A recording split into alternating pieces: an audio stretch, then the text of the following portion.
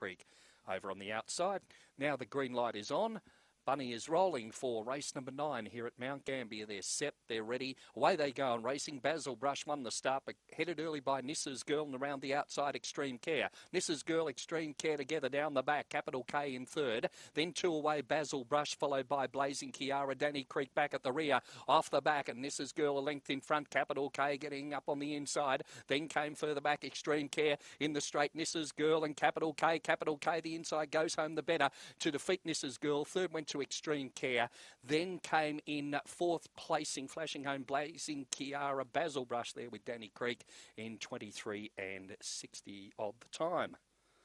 Stand by for the placings after the running of race number nine, but five Capital K will get the uh, verdict here from four Nissa's Girl, seven Extreme Care. That should be the way they finish.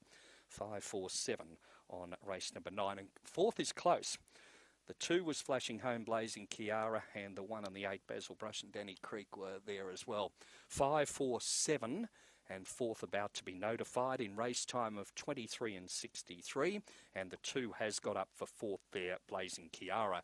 Five, four, seven, two. The numbers. Winner scored by three quarters, with two lengths between second and third. That winner there. Number five, that being at Capital K.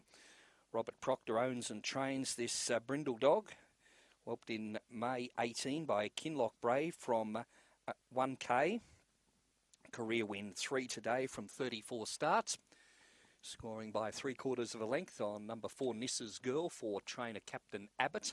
And third into number seven, Extreme Care for William Wilson. Number two was fourth, that being Blazing Kiara. Five, four, seven, two.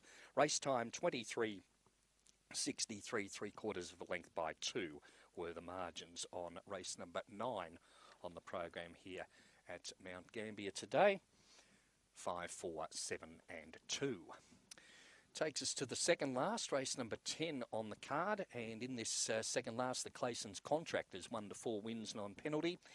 The uh, three and six are vacant boxes, again over the 400 metres, and we're 18 minutes away from the 10th as we get the all clear. All clear right.